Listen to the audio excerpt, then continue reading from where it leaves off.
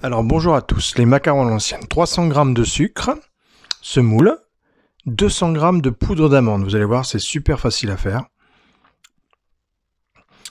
Ensuite, on y met arôme vanille, une bonne cuillère à soupe d'arôme vanille. On va y mettre une bonne cuillère de miel.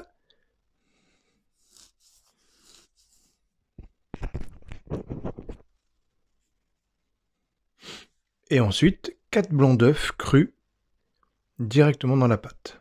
Voilà. Vous avez vu, super simple à faire. C'est super goûteux, ça a bien le goût d'amande.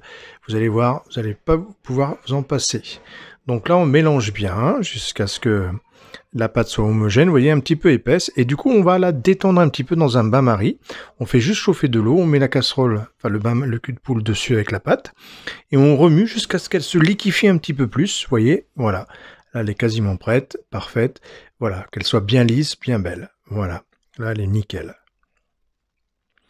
Donc maintenant on va étaler, on met dans une poche, donc là j'ai pas, pas mis une douille, j'ai une poche jetable, j'ai coupé juste le bout, pas trop trop grosse ouverture, hein. si vous mettez une douille vous mettez euh, une petite ouverture, et là on va étaler les macarons. Alors là je vous avoue que je les ai mis un peu trop près, vous allez voir à la fin ils sont pas ronds, ils sont un petit peu biscornus, ça leur charme, hein. ça fait un peu euh, artisanal, mais si vous voulez vraiment qu'ils restent bien ronds, vous verrez avec les gros que j'ai fait après, vous le voyez bien, vous les espacez beaucoup plus que ce que j'ai fait là. Hein. Voilà. Et là, vous prenez un sopalin, tout simplement.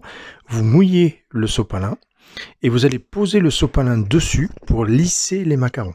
Ça va les humidifier un petit peu et ça va donner ce côté craquelin que vous allez voir à la fin. Donc vous passez bien comme ceci dessus. Voilà, parfait. Hop, et vous mettez bien du sucre glace par-dessus. Et ensuite, on va les mettre au four à 160 degrés pendant 20 minutes. 160 degrés, chaleur tournante de préférence, si c'est statique tant pis, ça marche quand même, et on les met 20 minutes à 160 degrés. Au bout de 20 minutes, vous voyez, voyez, je vous ai dit, ils n'étaient pas très ronds, ils se sont collés un peu. Du coup, ça a fait, euh, mais bon, c'est pas trop grave, ça fait quand même son charme. Moi, je, vous avoue, je les aime bien comme ça. Hein.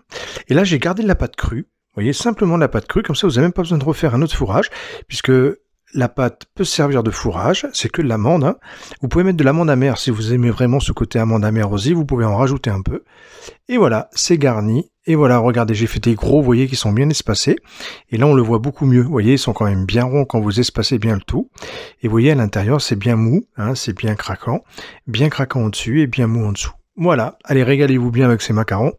Hyper facile à faire. À bientôt pour d'autres recettes.